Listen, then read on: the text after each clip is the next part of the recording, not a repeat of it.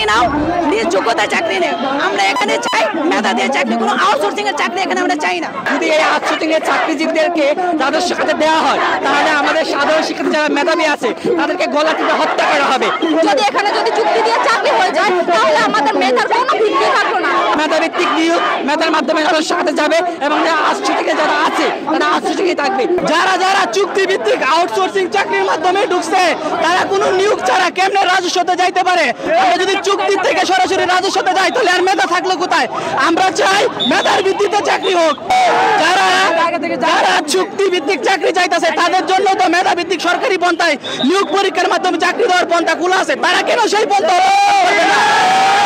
অবশ্যই আমরা মেধা ভিত্তিক চাকরি চাই। আমরা এই জন্য আন্দোলন করছি, এই জন্য আমরা স্বাধীন করছি। তাই আমরা অবশ্যই চাই যে মেধাভিত্তিক চাকরি কোনো চুক্তি ভিত্তিক চাকরি, যারা যারা ঢুকছে, তারা রাজস্ব যারা এখানে আউটসোর্সিং করতেছে, আমরা তাদের বিরুদ্ধে সম্পূর্ণ এখানে আসতে চাইছি। তাদের কোনো নিয়োগ হয় নাই, তাদের কোনো পরীক্ষা হয় নাই, তাদের সম্পূর্ণ তারা নিয়োগে চাকরি যাচ্ছে কিন্তু আমরা যারা একটা বেকার, একটা বেকারের যদি আপনি যে দিয়ে দেখেন, একটা ছেলে যে সারা বছরও বাড়িতে যায় না, একটা চাকরির জন্য দিনরাত পড়াশোনা করে। আমি একটা মেয়ে, এখানে আসছি আমার একটা চাকরির জন্য। আমার ফ্যামিলি আমার উপরে ডিপেন্ডেড আমি দিন রাত কষ্ট করে পড়াশোনা করতেছি একটা চাকরির জন্য। এখানে নিয়োগ ছাড়া চাকরি হচ্ছে। আমরা চাই নিয়োগ হোক, নিয়োগ দিয়ে চাকরি হোক।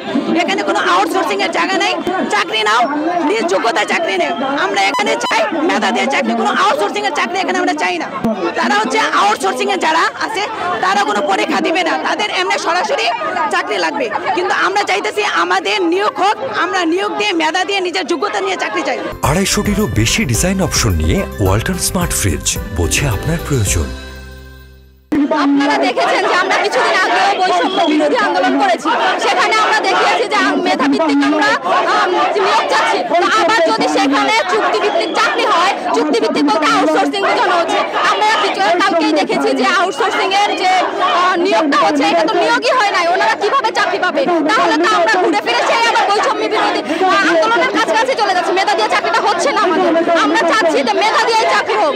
আমাদের এই যে ভাইয়েরা আবু সাইদ বলেন যারা মারা গেছে আর কি, ওনারা সবাই দেখেন রক্ত দিয়েছে। আমরা চাচ্ছি যে আহ, সবার রক্তের দাম থাকুক মেধা দিয়ে চাকরি হোক আমরা দিন রাত কত পরিশ্রম করে চাকরি চাকরির জন্য পড়ালেখা করি। একটা মেয়ে হয়ে কত কষ্ট, রাত্রে রাতে ঘুমাই না।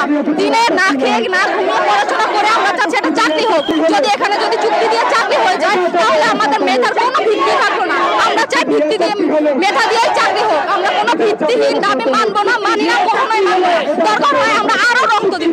দিয়েছি, দেবো। ভাইয়েরা রক্ত দিয়েছে, সেটা আমরা কোনোভাবে বৃথা দিব না।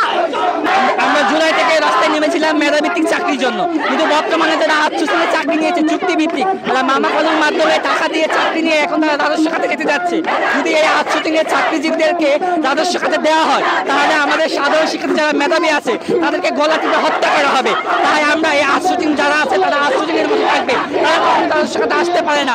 আমরা সেই জুলাই থেকে এই পর্যন্ত মেধাকে মূল্যায়ন করার জন্য আমার অনেক ভাইয়েরা রক্ত দিয়েছে। সেই রক্তগুলোকে আমরা বৃথা হতে দিতে পারি না। আমরা এখানে এসেছি একটা দাবি নিয়ে। সেই দাবিটা হচ্ছে মেধাভিত্তিক নিয়োগ। মেধার মাধ্যমে রাজস্ব খাতে যাবে এবং যারা আশ্রুতিকে যারা আছে, তারা আশ্রুতিকে থাকবে। তারা কখনো রাজস্ব খাতে আসতে পারে না। আমরা আশ্রুতিকে আশ্রুতিকের মধ্যে থাকতে চাই এবং মেধাকে মূল্যায়ন করার জন্য আজকে বাংলাদেশ সচিবালয়ের সামনে এসেছি। তাই আমাদের দাবিটা, আমাদেরকে দাবিটা বাংলাদেশ বর্তমান যে সরকার আছে। তাকে মেনে নিতে হবে, মেধাকে মূল্যায়ন করতে হবে এবং মেধা মেধা মেধা, মেধাকে প্রাধান্য দিতে হবে। যারা আশ্রুতিকে আছে, এটা আমরা কখনোই মানি না, তাদেরকে দিতে পারি না।